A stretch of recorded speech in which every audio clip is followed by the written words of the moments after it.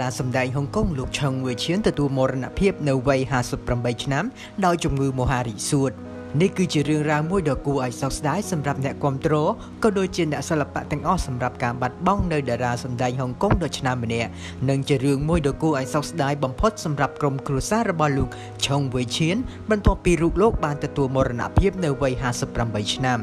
ដោយសារតែជំងឺមហារីកសួតក៏សូមជម្រាបផងថាសម្រាប់ជំងឺមហារីកសួតរបស់លោកឆុងវេឈៀនគឺរូបលោកផ្ទាល់ព្យាយាមលាក់បាំងពីមនុស្សជុំវិញខ្លួន ជាពិសេសមិត្តសិល្បៈតែម្ដងដោយរូបលោកមិនចង់ឲ្យអ្នកណាម្នាក់ដឹងពីស្ថានភាពជំងឺរបស់លោកនោះទេ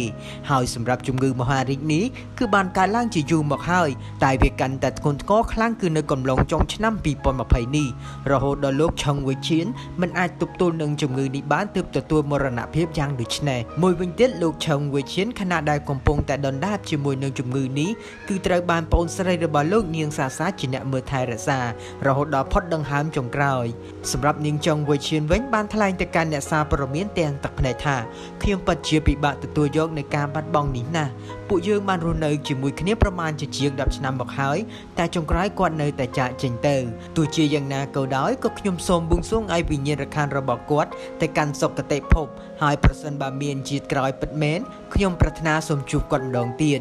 ក៏សូមជម្រាបផងដែរថាបន្ទាប់ពីការស្លាប់របស់លោកឆឹងវឿឈៀនត្រូវបានចុះផ្សាយភ្លាមគឺគេសង្កេតឃើញថាមានមិត្តសិល្បៈជាច្រើនបានចូលរួមសម្ដែងនៅការសោកស្ដាយសម្រាប់ការបាត់បង់មិត្តរួមអាជីពដែលធ្លាប់កំសត់កម្រសម្ដែងរឿងជាមួយគ្នាផងដែរ